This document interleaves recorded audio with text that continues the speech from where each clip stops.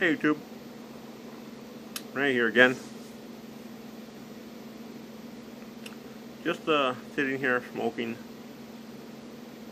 And I thought, oh, I'll make a video. Say hello to everyone. Smoking my um, radiator Mastercraft pipe. And I'm actually smoking Old Dog by McClelland. It's in English, full English. You know, I, I thought, you know, I don't know why I never did a review on it. It's actually a very, very good blend. Um, and, I mean, I hadn't smoked it in a long time, and, you know, just smoking it right now, it um, took me back, you know, to when I first started really, really smoking, you know, um, a pipe where I started buying tobaccos. No, this is one of those blends that uh, it, it just really solidified my love for English blends.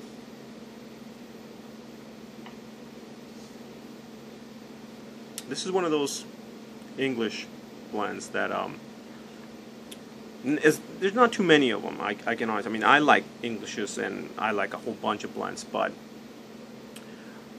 there's not that many like this old dog here. This old dog says it's rich, fragrant, dark, full English, and that's exactly, in my opinion, that's exactly what you get.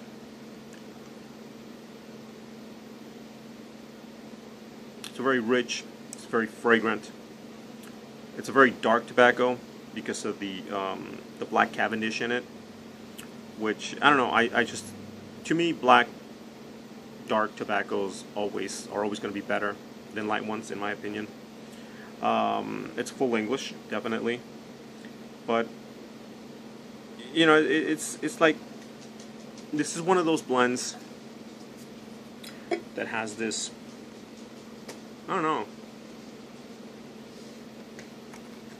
has this taste that brings you back.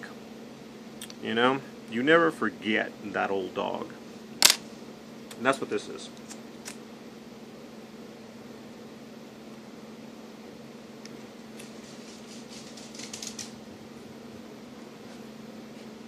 So I figured, you know, I'll do a review. I don't know why I never did it, but it's got lost in the shuffle, I guess. But yeah, it's definitely a good tobacco.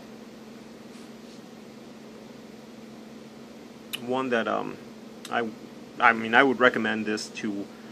I would recommend this blend to people who don't like English tobaccos, um, so they can try it.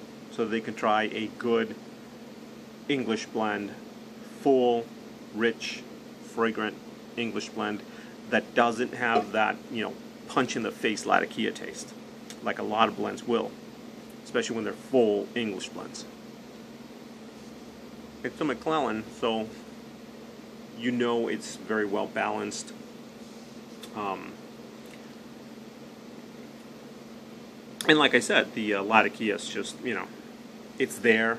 You can taste it, you can smell it, but, you know, it's just not overpowering in the least bit.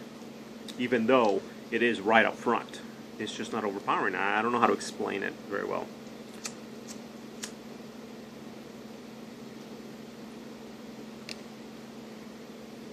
But yeah, I would definitely recommend this to anybody.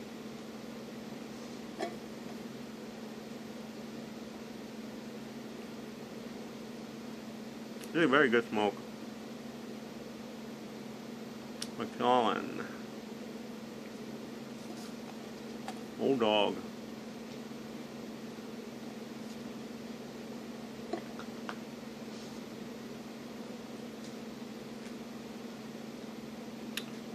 Wow. Whew. Anyways, alright, compadres, compadres.